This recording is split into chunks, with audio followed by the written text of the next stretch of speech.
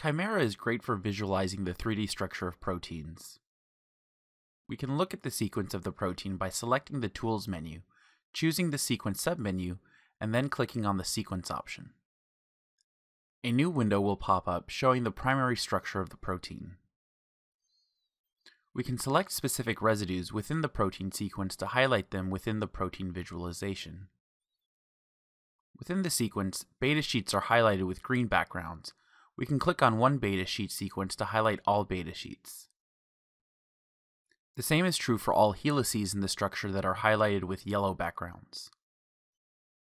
If we want to select a single secondary structure within the protein, we can select it by dragging a left mouse click along the portions of the sequence we want to highlight.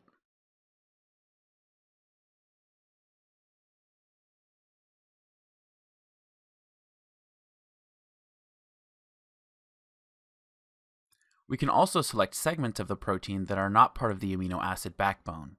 If we click on the Select menu, we can see a few options. To select the iron atom present in the heme cofactor, we can select the Chemistry submenu, choose Element, choose Other, and then choose FE.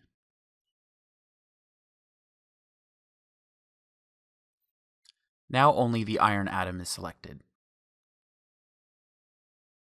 If we want to select the entire heme cofactor, we need to return to the Select menu, choose the Residue submenu, and then select Heme.